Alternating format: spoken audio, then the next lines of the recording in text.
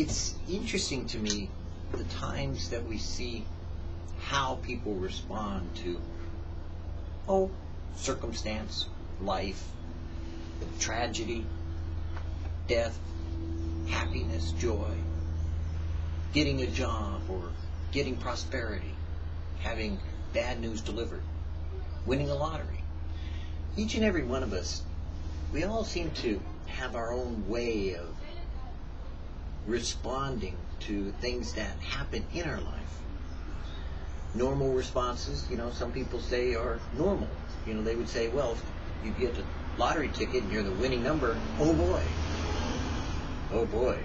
You know, not me. But most people would be thrilled to death to see, you know, the winning lottery ticket, you know, and they go, oh yeah, cool. And they get all excited about it because they have these plans of what they're going to do, you know, or, or like, you know, they, they can put some money away for retirement or put some money away for their children's education. You know, all these things that they can do because now they have the money to do them. And that's a good response. You know, it's, it's nice to sit down and to plan and to coordinate our plans because God said that the direction of a man's heart is his own, but the footsteps are ordered of the Lord. So we can choose to a certain degree the direction we want to go. A certain amount of life is in that choice. You know, a person will decide, you know, they want to be a police officer, or they want to be a soldier, or they want to be a tinker, a trader, a baker, a butcher, a candlestick maker, or they want to be, you know, an Indian chief. They want to go to war or stay out of war. They want to be a pastor or a missionary. They want to be in the ministry, or they want to sing or worship. You know, a lot of directions that we decide for ourselves, God lets us decide for ourselves. Even though we may choose a direction, God may choose the profession that we are called to rather than the obsession of the direction that we want to go to. In other words, somebody could be a, a doctor. That's a nice profession, you know, it's like, okay, you know, heal people. But God may have called him to be a pastor. Well, there's a conflict of interest because being a, a pastor involves a lot of time and energy. But being a doctor does the same. You see, there's a certain amount of ways and means that God can use one to bring about the other. And sometimes that happens in some of the circumstances in our life. God will let us choose what we want to do, but then in the midst of doing that, He may call us unto what He really wanted for us in the first place. Sometimes that happens in big revival meetings or big evangelistic crusades. You know, people people always want big. You know, they think bigger is better. They think somehow God is there because there's lots of people and they're all aware and they're all worshiping together. And that's not really true because the blunt fact of it is that most of the time when you find a huge group of people gathered together, you find a crowd that can easily turn into a mob. And most of the time, as we look in Scripture, you don't find the faithfulness of great numbers of people you find their faithlessness because less is more in God's economy. Those intimate relationships that God wants to establish with us doesn't happen in the mass media or the mass collective consciousness of a crowd mentality. It operates in the individuality of a one-on-one relationship with God. Me and God. You and God together we form, you know, a tri- trinity, so to speak, you, me, and God. And that's what happens in marriage too. Same thing is husband, wife, and God. It's not husband, wife, family God. It's husband, wife, God. And then after that, it may be, you know, father, son, God, or mother, son, God, or whatever it may be. But the individuality of the perspective of God saying one, which is what he is, Hear, O Israel, the Lord our God, the Lord is one, was always meant to be one to one even as the Son talks to the Father one to one, and the Spirit talks to the Son one to one. And together they all talk to each other one to one. And in that perspective of unity, of the oneness of God, we also find the fact of how God operates in our lives one to one. It's not about all the masses of appeals or tools that we think we are going to use, like some massive revival. Now, you know, I, I'm all for revivals. Don't get me wrong. You know, I, I look at revivals and I see, you know, 10,000 people come forward, you know, by golly, you know, I see, you know, 10,000 come forward, you know, and some of them came down and went back up into the stands right where they belonged, you know, because they partially went down with their friends, you know, to help them to get confident. And Then they went back up. You know, and I like the numbers that people say, you know, oh, well, millions got saved, you know, and you add them up and you kind of go, ooh, wow, the whole world's saved, you know. Well, yeah, not so much. But God can use the direction a person chooses by eventually causing the reflection of His glory to accomplish its purpose on the ways and means He chooses to bring that person to Himself. You see, a person may start off by going to a crusade. They may go to 12 crusades because they may get saved over and over and over again. And there are lots of people in America that are getting saved over and over and over again. So whenever you hear these ministry numbers, you know, or you see these great revivals, don't get too excited. Don't get too wound up. You know, you may see them at church for maybe a week or two, but after that, hey, you know, eventually, you know, they're heading down the road. You know, they got busier things to do. Okay, I got my salvation, I'm gone. Okay. I can see what kind of salvation that was. It had a big impact on your life. You denied yourself, take up your cross, and follow Jesus, right? Well, no, I got saved and I went on my own way. Ah, so by grace you're saved, so that way you just went off to do your own thing. And sometimes that's what happens in great revivals or great evangelistic crusades. People get wound up with unrealistic expectations. You know, superlatives that we use in religion to qualify and quantify the effectiveness of a ministry by somehow establishing it. Oh, if it's bigger, it's better. If it's thousands of people came to the Lord, you know, and they all, you know, took a Bible and they got their tracts, you know, they got their acts, you know, and they're all kind of like, you know, sending in their first responders card. And then there's no second responder or third or fourth. In the years that exist, we see in Christendom interesting perspective. There's the story of people like Billy Sunday, um, Moody, Spurgeon, a bunch of these different great evangelists at the turn of the century. And I'm not going to say which one because it's better that you research on your own in order to determine which ones were which. But there was once a great evangelist, and he was wonderful. He told beautiful stories. People would cry in an instant at his stories in an evangelistic crusade, and they would all come forward. I mean, just without a doubt, almost every seat was vacated. You know, they'd come down and dedicate their lives to God until the next week. And then the next week, they were back to doing the same old thing. They were back into the world and its ways. They had the great emotional response, but they had no devotional connection. They were given the great call to come, but they weren't followed up with any kind of discipleship from the one. They didn't have that personal connection with God. They had a personal connection with the evangelist. Don't get me wrong. That was powerful. I mean, even today, we look back on his work and we think, wow, what awesome teaching, what magnificent oratory, what wonderful and powerful man of God this was. But as we see the they call it the receptivity. I forget. I can't think of the word. It begins with an R. But the actual people that stayed with being a Christian, as opposed to ones that made a commitment and then split, you know, it's like really low.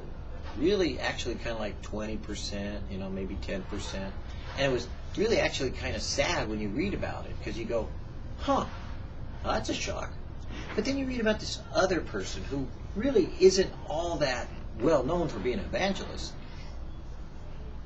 and really didn't have these huge, giant revivals, these great crusades, these magnificent, powerful oratory statements or stories.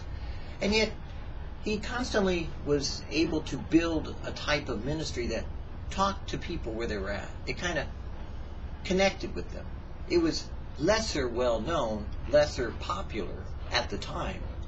And yet, the continuation of those people that made declarations of following Jesus or making a dedication of their life to follow God was almost in the 90 percentile group.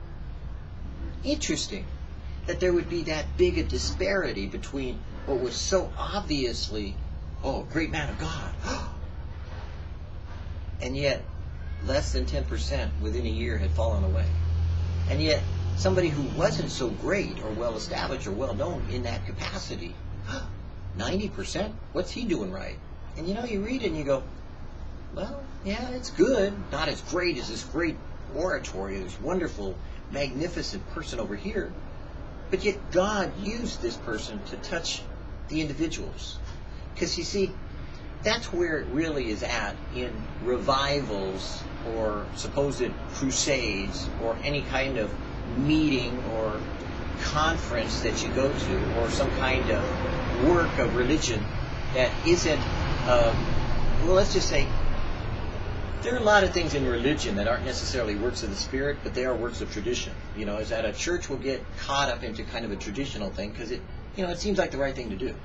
And a direction of a man's heart, after all, is his own, but the footsteps are order of the Lord. So the Lord kind of blesses it because he's going to use it in some way. Maybe not the way that the people that started it intended, but by the way that he chooses to use anyways, despite the name that's on top of what the direction of a person's heart is. And that's how God kind of works in our lives too, is that sometimes we think we're going in one direction when God is really doing something else in that direction because he's got us moving, now he can use us. So that in that direction, even though we're going that way, he's really using us in a different way. Sometimes that's like, you know, football players that have a testimony, you know what I mean? Don't get me wrong uh, you know, me personally, I wouldn't be caught dead working sports, you know, but that's some people's desire. You know, they grow up wanting to be a great, you know, hero of sports, and you know, God bless them. You know, if that's what God wants you to do, okay, fine. You know, but most of them usually don't want to know what God wants them to do. They do it, and then they got God in it, and then they can give God glory for it. Which is, you know, God uses it as He chooses. God may never remember their football career at all, but He'll remember what they did, even though they were a football player. That's the way I look at it. Maybe I'm wrong, or maybe I'm right. and that's kind of what he does with religious ideas. A religious idea is often called a dogma, or a doctrine, or in this case, a tradition, or a I don't even know what we would call it, a practice. Yeah, a religious practice a religious practice would be something like a revival meeting. You know, I never understood the revival meeting, but you know, I, I get it. You know, I mean, I know that there were tents around times, and then it goes all the way back to you know the centuries when they were traveling around. The only way that they could study the Bible because the Bible was not in mass production was that they had these troubadours that were going around. They were doing demonstrations of plays, and they were doing these little sermonettes as acts of plays. You know, and they would do that, and it was kind of like you know the thing that was being demonstrated in a real life way to the people, so that they would learn it and that they would begin to understand what the Scriptures said and what Jesus said because that was the way that they talked was that they were hearing rather than reading the Word of God because most people couldn't read in those days in Europe in the Dark Ages. So, you know, I kind of understand, you know, the revival stuff and the tent meetings and all the other things that come about. You know, we use, you know, it's like the gifts of the Spirit. Some people say, oh, well, you know, let's go get to a healing ministry. A healing ministry. Interesting. Yeah, okay, I got it. God can't heal, but the healing ministry can. Or let's go to a deliverance ministry. You know, it's like, well, okay, you know, God can't deliver, but a deliverance ministry can.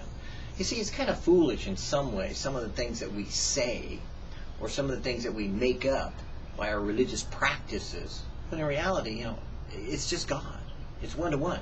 You want to be delivered? Ask God. That's simple. You're delivered. You want to be healed? Ask God. Simple. He heals you.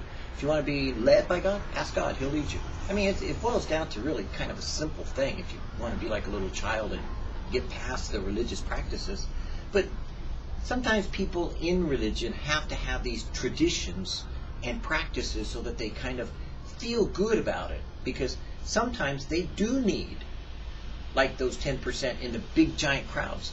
They need to have 10,000 other people around so they could be the one person that gets saved going down there with all 10,000 others that you know ran forward in order to rededicate or dedicate their life to God.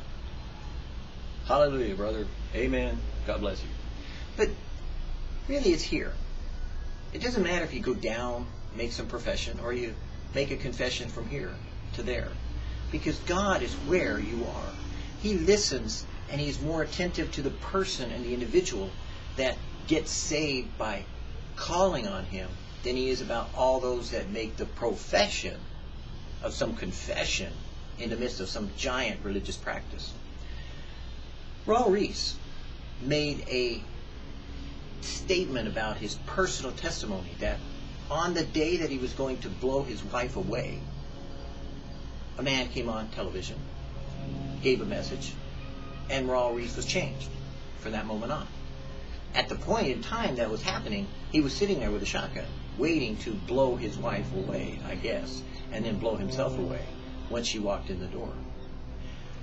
God chose not to use a giant, you know, evangelistic crusade of some type, you know, to get to Raul, but rather spoke to Raul, period, one to one. Through the avenue of a man, it's true, but also later through direct interaction with Raul.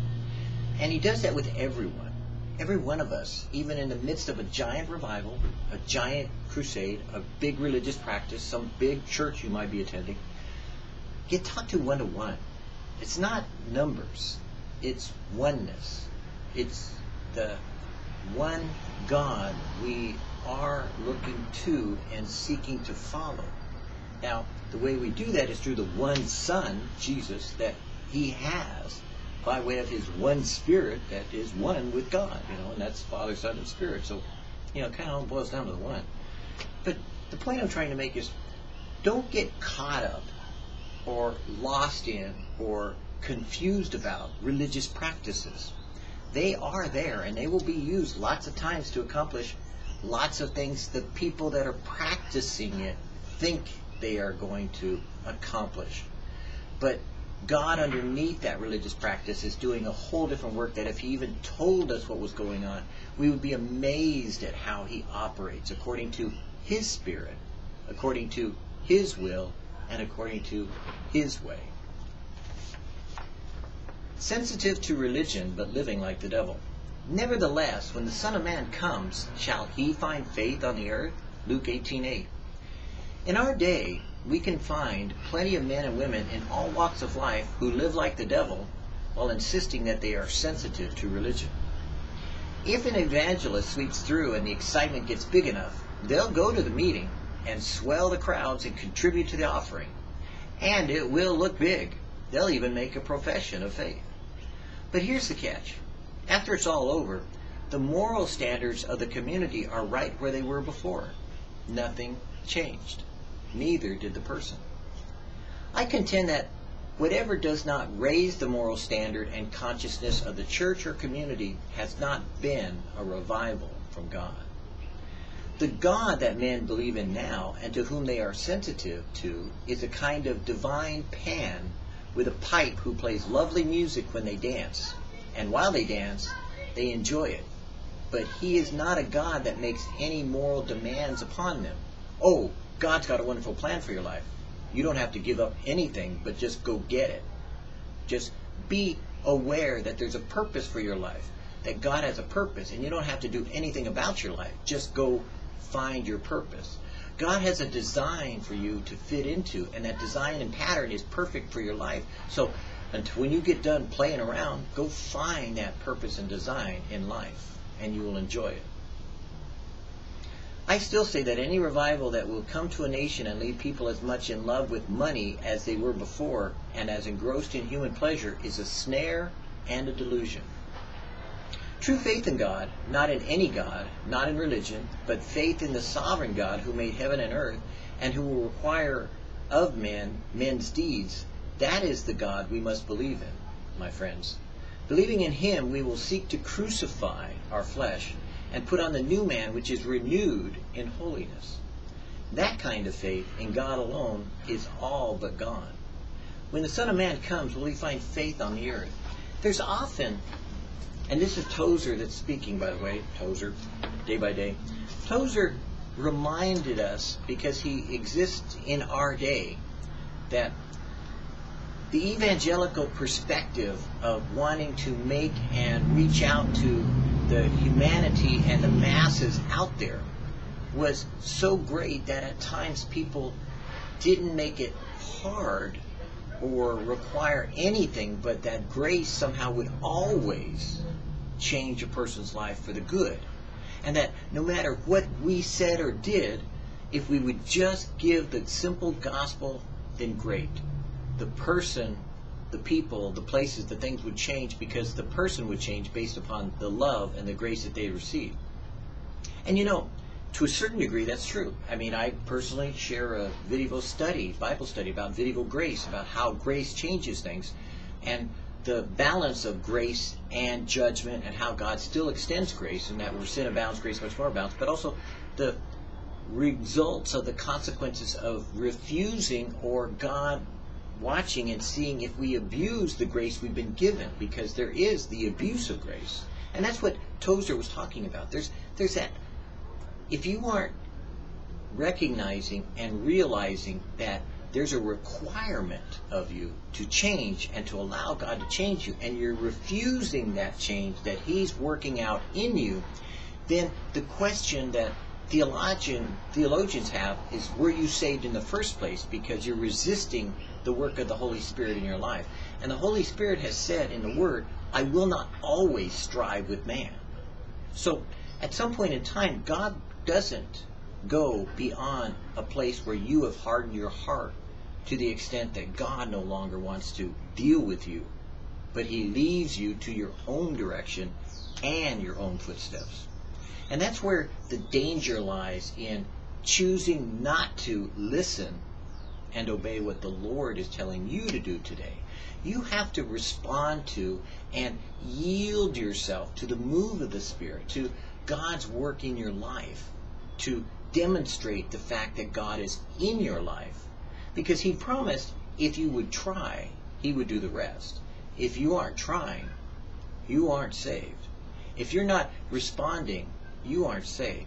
If you aren't in some way demonstrating the fact that there is a seed of the Word of God inside you growing and germinating and gradually putting down roots into your soul and into your flesh, tendrils that are beginning to cause to suck out the life of your flesh, but to build up this soul inside you. And that little tiny seed of the Spirit of God is growing and germinating and becoming gradually ready to spring forth outside of your physical manifestation to those around you by the peace, the love, the joy, the meekness, the kindness, temperance, gentleness, fruits of the Spirit, all that God has placed inside you, then I dare say that the seed has fallen unto the soil that possibly maybe roots were, you know, like weeds were with them and the roots were choked up. Not good soil. Or that the seed of the Word of God that was placed in you has been trampled upon by the feet of men because you didn't protect it in the first place, so you start again. Or that you yourself have taken that seed and removed it far from your life by demonstrating that you don't want God in your life. You see, there has to be an attitude of the heart change, not necessarily outward manifestation, because some people confuse the two. I understand that you know everyone wants to see you, you know, be perfect, but really the perfection is inside, not outside. God is perfecting you from the inside out, not from the outside in. And though there may be those demonstrations of religious practice from the outside, what happens on the inside will prove whether you were saved or not. Now, if you don't want to be saved, go to hell. I mean, that's the bottom line, is that the fact that so many people choose to somehow adapt this place that God has reserved for angels, which, you know, that should automatically explain you're not supposed to be there. It was designed for angels. And that God has said, I've done everything I need to in order to prevent you from going there. Don't go there. And here's how. And that you refuse to, it kind of goes without saying, if you really want to go there, you go there. You're gonna. You know, it's not just you know good and bad. That's not how God's evaluating you. He's evaluating are you perfect. If not, you can't exist in a perfect environment. You are the corruption. You are the weed. You'll be pulled out. But he wants you to make you not the weed, but the seed. So if you're a weed, you're going, you know, to hell. If you're a seed, you're going to grow up into the planting, the fruit, the tree, the the flower for some of you. but, you know, you're going to grow up into that which the seed God has planted causes you to grow up into. So the choice of being a weed or a seed or growing or knowing or having God finally fully develop you technically is yours. You see, He's done everything He can. He wants you to just try and let Him. In other words, you don't stop the work of God. God's always going to do what He's going to do. I mean, there's nothing that you can do that can stop Him. He's going to always work on you. He's going to chase you, pursue you like we talk about the hounds of heaven. Grace and mercy will chase you and pursue you all the days of your life until you turn again, you know, to the Lord your God and love Him with all your heart, soul, mind, and strength, and serve Jesus with your life, you know, giving to Him again the control of your life. And at times you may, you know, take it back and you know play games, but that's not what we're talking about. We're talking about a hardening of your heart that you have heard God speak. You have responded to the call. You have known in your heart that God is wanting your all. And you're resisting and pulling back until finally one day the Spirit of God does say to you, I will not strive anymore. Because as a weed, you'll become a weed. Choose to have your nature changed. Choose not to follow after the religious practices of some that, you know, on the one hand, they look like they got saved, but on the other hand, nothing has changed. They're still rocking out. They're still doing their thing. They're still sinning as much as they ever were. And yet they're covering it with a religious practice as opposed to living it with their religious observance. You see, every religious observance can be observed from the inside out, but a religious practice you can only see from the outside in.